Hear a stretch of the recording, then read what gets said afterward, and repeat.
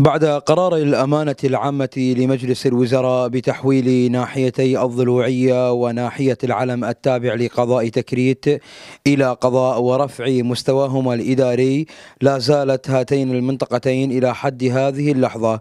لم تتمتع بالتخصيص المالي أسوة بباقي أقضية المحافظة مما يترتب عليه بقاء الواقع الخدمي. عما هو عليه الآن في ظل واقع ميزانية لا ترتقي للمستوى المطلوب. بمناسبة تحويل ناحية العلم من ترحيله من ناحية إلى قضاء هناك نقص في الخدمات منها الكهرباء قلة الكهرباء يعني وضع رديء جدا جدا. ومشاريع الماء هم رديئة جدا. مشروع روائي ونأخذ منه المياه شرب ويعني صحيا ما مقبول صحيا ما مقبول.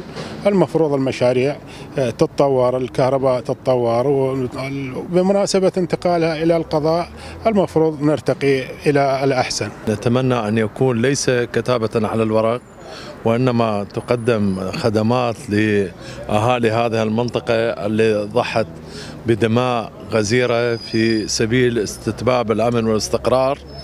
ونتمنى أنه تكتمل باقي الدوائر الخدمية في القضاء وتكتمل كافة الخدمات التي تقدم للمواطن. وهذه هي إنجاز عظيم لهذا المنطقة.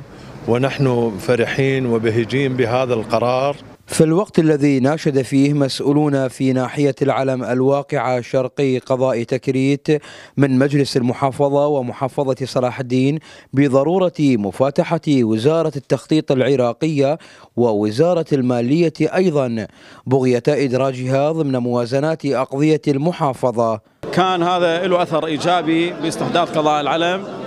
ناحية العلم تعتبر من أقدم النواحي في محافظة صلاح الدين حيث تأسست عام 1964 فيها من المؤهلات والمقومات اللي تأهلها أن تكون قضاء من مقاطعات وقرى ومركز ناحية ودوائر خدمية. هذا الاستحداث سوف يكون له أثر إيجابي بالنسبة للخدمات للمواطنين واستحداث دوائر أخرى مكملة مثل ملاحظية تسجيل عقاري وفتح مصرف وكذلك إن شاء الله المستشفى أيضا. حصلت بها موافقات. نأمل من السادة في محافظة صلاح الدين التوجه والدعم دعم القضاء الجديد للتوسع وإن شاء الله مستقبلا أيضا الخطوة القادمة سوف يكون استحداث ناحية البيضاء مصطفى الوحادي قناة السامراء.